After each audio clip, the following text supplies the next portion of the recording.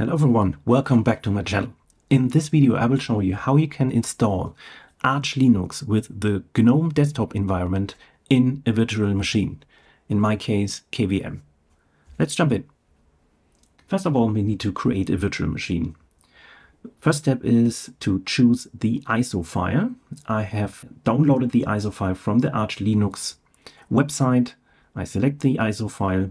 Arch Linux is automatically detected. That is very nice. Next step is to define the memory and the CPU settings. I will take 12 CPUs for my installation. Next is let me take 50 gigabytes for my disk image. I can go next, forward. Let's give the virtual machine a name, Arch Linux-GNOME, and I want to customize the configuration before the installation. Virtual network is set to default NAT, so the new virtual machine should have internet connection from the beginning. Let's click on Finish. Next one, I will use a new EFI system for my installation. CPUs, I changed the topology of my system to 1, 6, 2. This depends also on your processor that you have installed on your system, but this is also very well documented in the Arch Linux wiki. Click on apply. Next one is the boot option. So I need to activate the Arch Linux installation ISO move it to the beginning and enable the boot menu and click on apply. The next is checking the hard disk. Yes, the disk bus is set to virtio. This gives us later on the best performance on the system. We are ready to install. Let's begin the installation. The system boots up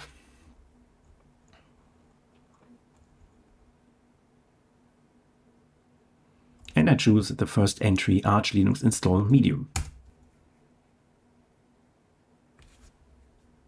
We are now in the Arch Linux ISO. First thing is I need to load my German keyboard layout with load keys DE-Latin 1. Let's check the internet connection with ping www.google.com. Yes, we have an internet connection. Then we are ready to install Arch Linux with GNOME with the Arch Linux installation script. Just enter arch install.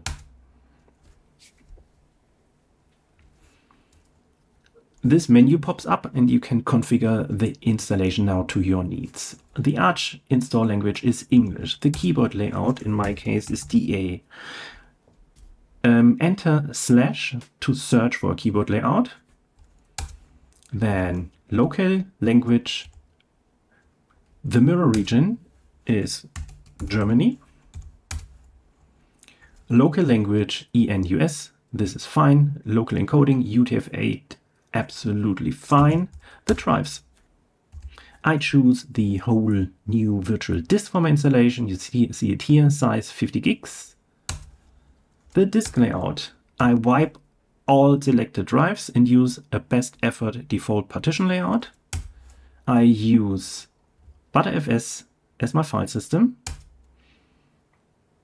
Yes, I want to have the Btrfs subvolumes. This can be used later on to create snapshots with Timeshift or Snapper.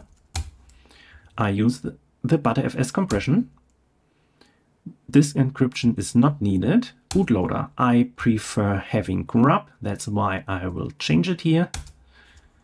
Swap to fine. Hostname Arch Linux fine as well. The root password.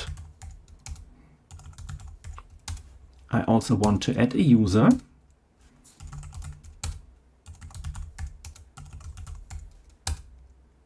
Yes, and the new user should be a super user and can run sudo commands. I confirm this and exit. Profile. Now we come to the point where we select the desktop environment. As said, I will choose GNOME. And I use all open source graphics drivers. Audio, Pipewire. Additional packages not needed. The network configuration. We have already a network connection and I want to copy this network connection into the installation. When we boot up for the first time into the new system, we should already have an internet connection established. The time zone. In my case, Berlin. Sync automatically is fine and that's it. No optional repositories needed and we can start the installation. I confirm this configuration with enter. And the Arch Linux installation starts.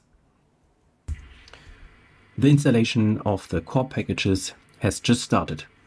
And now the GNOME desktop environment will be installed. The base system is already configured correctly, it's already installed correctly, and now the desktop environment installation starts. Installation is done, select no, and that's it, installation done without errors. Now it's time to start into the system for the first time. I enter exit and enter reboot. Grub bootloader successfully installed. I can select Arch Linux and the system is booting up. And the login screen appears. I select my user, I enter my password, and I'm in the base installation of GNOME 44 on Arch Linux in the virtual machine. The next feature that I want to activate is the usage of the common clipboard.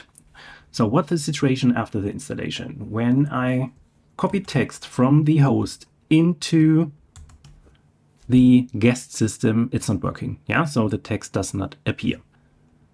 I need to install an additional software. Let me open the console and install sudo pacman-s spice vd agent.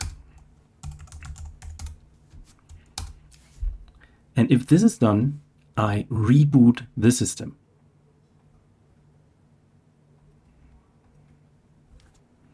And now let's try it again.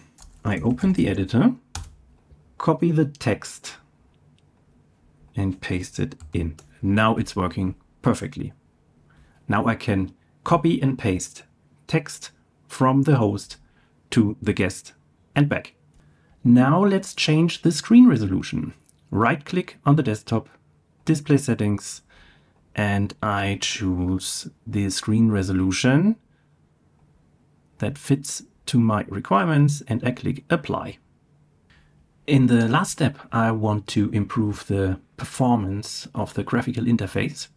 To do this, I have to install an additional software, console, and it's a driver package called XF86 Video QXL.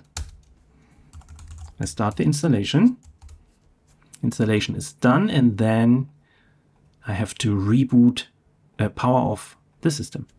Then in the video section, select QXL and in display spice, you should see this setting. So normally nothing to change here. But if this is done, you can restart the virtual machine again. And with that driver activated, you should have a good graphical performance on your Linux guest in the virtual machine switch to full size, you can change the screen resolution with display settings. In my case, I choose the high screen resolution here and I keep the changes and everything fits perfectly on my monitor. If you want to stay up to date, subscribe to my channel and see you next time.